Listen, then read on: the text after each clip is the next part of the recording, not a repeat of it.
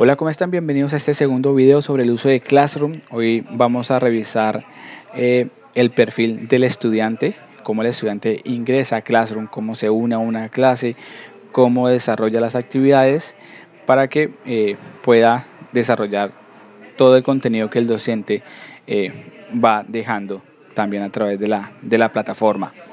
También es un video que está orientado para los padres de familia para que también pues estén atentos y tengan la información para que acompañen a sus hijos en este proceso de, enseñanza durante la cuarentena.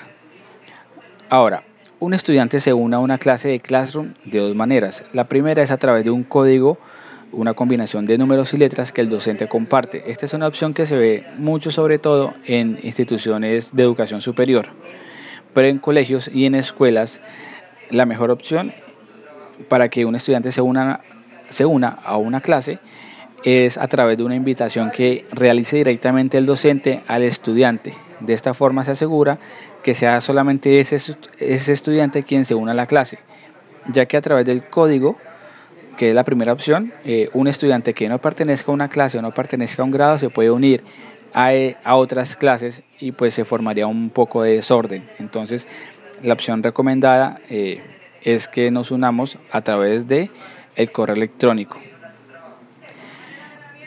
Cuando el docente envía el correo electrónico invitando a un estudiante a una clase, lo va a encontrar de la siguiente manera. Encuentra el nombre del docente de este lado, el asunto del mensaje, donde menciona que se trata de una invitación a la clase de historia de sexto A.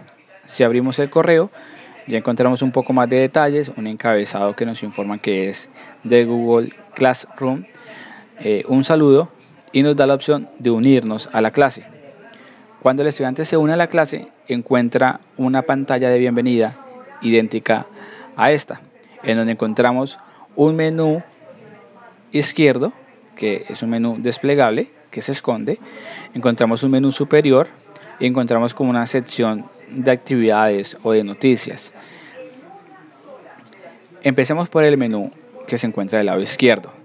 Cuando el estudiante se ha unido a más clases, entonces el estudiante las puede visualizar en opción de clases y puede ingresar a cualquier otra. También vemos un calendario en donde está organizado de manera semanal y cada día nos va a mostrar las actividades que tiene ese estudiante para ese día. También tiene la opción en donde puede cambiar de clases de una a otra de una manera mucho más sencilla, mucho más rápida y tenemos una opción de ajustes. En opción de ajustes que se va a configurar eh, principalmente el tema de las notificaciones. Si el docente sube una tarea, publica algo en la clase o en las clases en las que esté unido el estudiante, todas esas notificaciones van a llegar al correo del estudiante. Entonces, si de pronto ustedes quieren personalizarlas un poco, lo pueden hacer mencionando o seleccionando qué notificaciones quieren ver. Si no quieren que les llegue ninguna notificación, desactivan la opción de notificaciones. De lo contrario, así de esta forma le van a llegar todas las notificaciones que se puedan eh, realizar. Regresando nuevamente a la clase de sexto A de historia, vemos que la primera opción que aparece en el menú superior es la opción de tablón. Dependiendo del idioma en el que esté su computador, porque puede estar en español México, español España, español Colombia, español Argentina, este nombre puede cambiar, pero cumple con la misma funcionalidad. La opción de tablón básicamente lo que muestra es como una sección de noticias de Facebook, es como la similitud que les puedo hacer. Entonces vemos todo lo que el docente ha publicado. Aquí vamos a ver lo más reciente que el docente ha publicado y esto es como lo más antiguo que el docente ha publicado. Entonces ustedes pueden navegar y pueden revisar actividad por actividad y ya más adelante vamos a revisarlas y vamos a interactuar con cada una de ellas. Los estudiantes también pueden descargar los documentos adjuntos que suba el docente pero dependiendo de los permisos que entregue el docente, pues un estudiante puede, aquí en esta sección, puede realizar comentarios. En ese caso, pues está configurado para que el estudiante no realice ningún tipo de comentarios, sino únicamente desarrolle como tal la actividad. En opción de trabajo de clase, el estudiante ve un poco más organizado las actividades que le ha dejado el, el docente. En este caso están organizadas por niveles, tenemos un nivel básico, un nivel alto y un nivel superior. El nivel básico tiene unas actividades, el nivel alto tiene otra y el nivel superior tiene otra actividad. Esas actividades, eh, cuando se califican, pues digamos que se suman todas y da la nota del periodo. Los docentes pueden organizar esto como quieran. Entonces, eh, el estudiante puede ver esta sección organizada de una manera diferente, depende del docente. En la sección de personas, el estudiante tiene la posibilidad de ver los docentes que forman parte de esa clase. Pueden existir uno o más docentes, entonces, o tres o cuatro docentes, entonces aquí el estudiante sabe o el padre de familia sabe qué docentes están, por así decirlo, dictando esa clase o subiendo contenido. El estudiante inicialmente o principalmente se va a mover en esta parte que es el trabajo de clase, que es donde va a empezar a desarrollar todas las actividades que como tal tienen calificación. Porque en el tablón el estudiante pues ve esas mismas actividades, pero aquí el estudiante ve algo al final. Esto que está acá al final como tal es un post, es una publicación que el docente compartió pero que no es calificable. Entonces aquí ustedes pueden encontrar, por ejemplo, el saludo del docente, las reglas de la clase o información importante sobre la asignatura, sobre la clase, pero es información que no es calificable. Todo lo que sea calificable ustedes lo encuentran en la parte de trabajo de clase. Los docentes aquí pueden dejar cuatro tipos de actividades. Atención a esto. Pueden dejar una actividad, una tarea normal, que ya la vamos a revisar, pueden dejar una, una tarea eh, con un cuestionario que puede ser, por ejemplo, muy utilizada para hacer quiz, evaluaciones, exámenes. También los docentes pueden dejarle al estudiante que responda una pregunta, entonces el, profesor hace una pregunta puntual eh, que la deja como tarea y tiene una calificación, si así lo desea. Y el cuarto tipo de contenido que lo puede dejar es, es un contenido que no es calificable, que se llama material. Entonces el docente ahí puede, por ejemplo, dejar que para el nivel superior eh, los estudiantes tienen que leerme estos libros, o tienen que leer estos documentos, o tienen que ver estos videos. Entonces es como preparando, por así decirlo, a los estudiantes para que en el nivel superior tengan en cuenta que eh, ese es el material que se va a tener a disposición. Ahora, para desarrollar las actividades empecemos con las actividades de nivel básico. Si le damos clic, vemos que la actividad se despliega y nos está mostrando. Por favor, envía un documento en Word eh, donde esté el nombre, aquí faltó un poco en la redacción, donde esté el nombre de todos los departamentos de Colombia con su respectiva capital. Si el estudiante le da la la va a poder ampliar mejor Y el estudiante aquí en esta opción derecha, el estudiante puede agregar el documento que el docente le pidió. Entonces puede agregar un documento que ya tenga el, estudiante en su Google Drive. Puede agregar un enlace si de pronto el documento está en otro lugar, lo hizo de pronto en otro sistema, entonces puede enviar el enlace o puede directamente adjuntar un archivo que esté en el computador, que es la opción que vamos a utilizar. Entonces el estudiante pues selecciona esa opción, espera que cargue la ventana y puede subir un documento. Vamos a subir por ejemplo este documento. Le damos subir.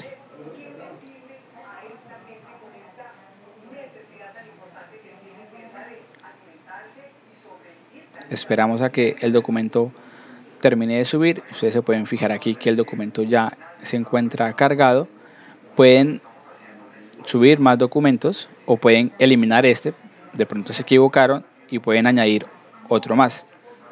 Aquí ustedes pueden realizar comentarios privados acerca de esa tarea. Por ejemplo, eh, tuve una duda sobre la capital de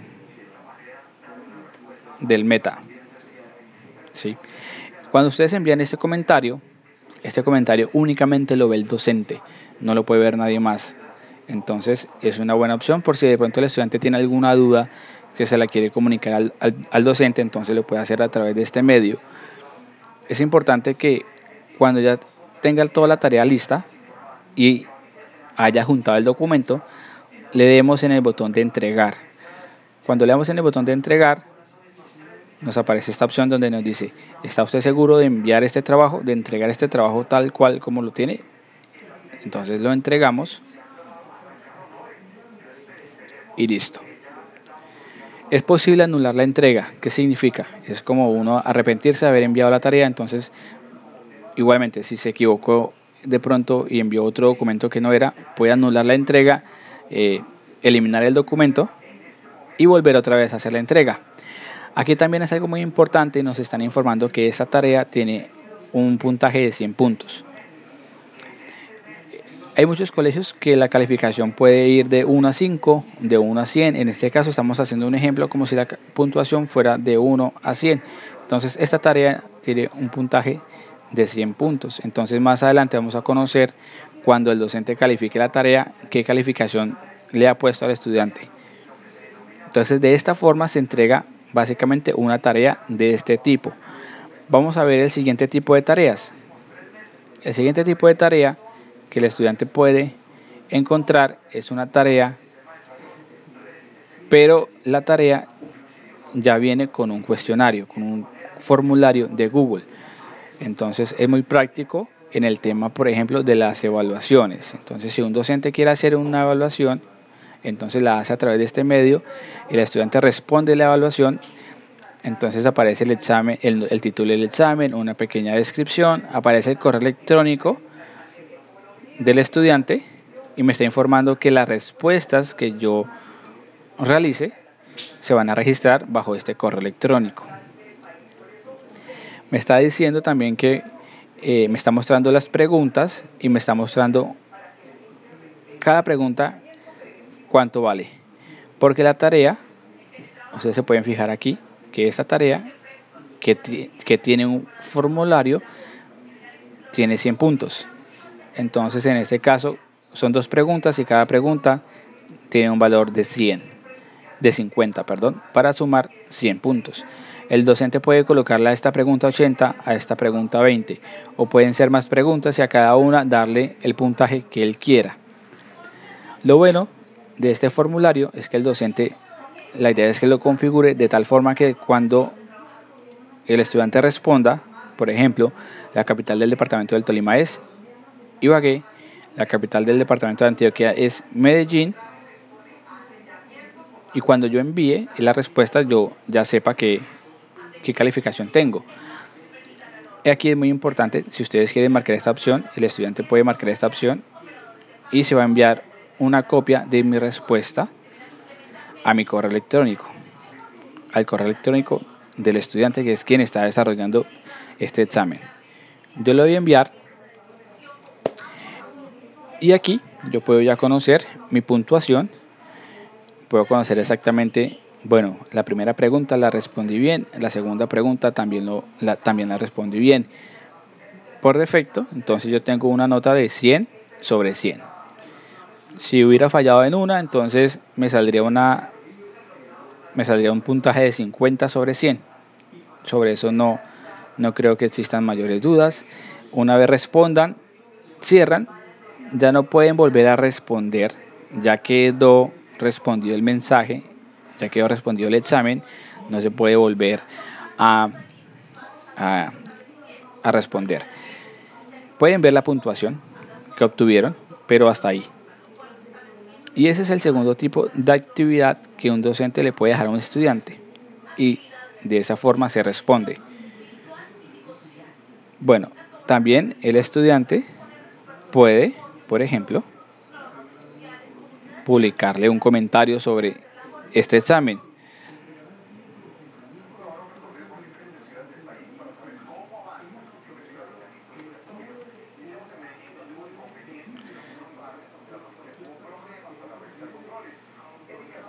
Y ese comentario únicamente lo va a ver el docente. Ahora revisemos el tercer tipo de actividades que puede dejar un profesor. En el nivel superior tenemos esta actividad. En este caso, cuando aparece este icono, indica que es una actividad tipo pregunta. Se puede desarrollar aquí mismo ustedes pueden verla un poco más ampliada de esta manera. Y aquí me está preguntando puntualmente, ¿cuál es la capital del departamento de Atlántico? Y tengo unas opciones. Y entrego la tarea. Y eso es todo. Entonces el docente verá en qué casos de uso realiza actividades con este tipo de preguntas. Regresamos. Y aquí la última actividad, en este caso, es la que está en el nivel superior. Pero como tal no es una actividad, es simplemente es una entrega de material que el docente ha hecho. Entonces aquí encontramos una descripción. Por favor descargar y leer el contenido para estudio del nivel superior que adjunto. Entonces nos adjunto este documento, el estudiante lo descarga y lo lee. Entonces el, profesor a través de este tipo de actividades lo que hace es eh, publicar material en correspondiente a un tema determinado para que el estudiante lo descargue y lo lea. Entonces ya sabemos que como estudiantes hemos respondido a una serie de actividades. Ahora vamos a revisar eh, el tema de las notas. Entonces voy a pausar un momento el video, voy a ir al perfil del docente, voy a calificar los trabajos que se han enviado y posteriormente vamos a revisar cómo ve un, cómo ve un estudiante las notas que ya ha puesto el docente. Listo, ya desde el perfil de docente que tengo abierto en el otro navegador he realizado las calificaciones. Entonces vamos a hacer aquí, vamos a actualizar y por ejemplo el docente ya hizo una publicación en donde nos está informando que ya están disponibles las notas de las actividades. Entonces si yo voy de nuevo a la opción de trabajo de clase y empiezo a revisar mis tareas, por ejemplo vamos a la primera tarea del nivel básico, el estudiante aparece primero que la tarea ya fue calificada. Entonces si yo le doy en ver tarea, el estudiante se da cuenta aquí que obtuvo 90 de 100 puntos. Y al comentario privado que el estudiante realizó, por ejemplo, que vimos que fue, tuve una duda sobre la capital del meta, el docente respondió, es Villavicencio. Entonces aquí el estudiante puede volver a responderle. Gracias, profesor. Y le envía el comentario privado pero ya conoce su nota. Si vamos a la siguiente actividad, que era el formulario del examen, que era el examen, aquí nos fijamos que la puntuación fue de 100. Esta nota el estudiante ya la sabía con anterioridad porque al responder el examen pues eh, ya pudo ver la puntuación que obtuvo. Y aquí vemos también el comentario que el profesor le hizo. Muy bien, obtuviste un 100. Gracias. Esto, es opcional, ¿no? Si el, si el estudiante lo quiere hacer. Regresamos y por ejemplo, ahora vamos a revisar la nota de la última actividad, que fue una actividad tipo pregunta. Entonces vemos que nos calificó con un 100 porque la pregunta que nosotros, o la respuesta que nosotros dimos a la pregunta del profesor fue correcta Efectivamente, pues Barranquilla es la capital del Atlántico, entonces nos calificó con un 100 y aquí el, el profesor nos está informando que respondiste de la forma correcta. Y de esa forma es como el docente le informa a los estudiantes. El estudiante realiza la tarea, la entrega, el estudiante, el profesor, el profesor la califica y la devuelve ya calificada o con algún comentario interno, por ejemplo. Entonces, eh, puede ser que el docente eh, lo que devuelva sea únicamente un comentario interno donde le esté diciendo al estudiante, por favor modifica o cambia tal parte porque la tienes mal. No la ha calificado todavía, pero le está informando al estudiante por un comentario interno que por favor haga una corrección. Entonces se puede empezar a presentar ese, como esa comunicación entre el estudiante y el docente para que la tarea al final pues se desarrolle de la mejor manera. Y básicamente esto es todo lo que hace un estudiante en Google Classroom. Revisar, por ejemplo, sus tareas en el calendario, sus actividades, eh, revisar una, un, muro, por así decirlo, una sección de noticias y desarrollar sus trabajos sus tareas y estar muy pendiente, por ejemplo, a ellas para saber si el docente, eh, qué le ha respondido, si el docente ya le calificó, si le envió algún eh, comentario privado. Entonces es muy importante tener en cuenta esto, estar siempre pendiente de las actividades, estarlas visitando, ingresando a ellas para saber qué, información o qué retroalimentación hemos recibido por parte del docente. Y todo esto que el docente ya hizo, que nos calificó, que nos envió un comentario interno, etcétera, todo esto está evidenciado en el correo electrónico. Al inicio de este video únicamente estaban estos tres correos, pero como el profesor calificó exámenes, el profesor añadió comentarios privados, entonces todas estas son notificaciones que le empiezan a llegar al estudiante. Entonces es muy importante que pues eh, de ser posible el estudiante pues tenga su correo electrónico o el padre de familia lo tengan en el celular, en aplicación de Gmail agregado, para que estén atentos eh, como a todas las novedades que se van generando en las clases de sus hijos, en las clases de los estudiantes. Y no siendo más, pues ya con esto me despido. Si tienen alguna duda, pues pueden eh, contactarme a través del correo electrónico o en los comentarios de este video.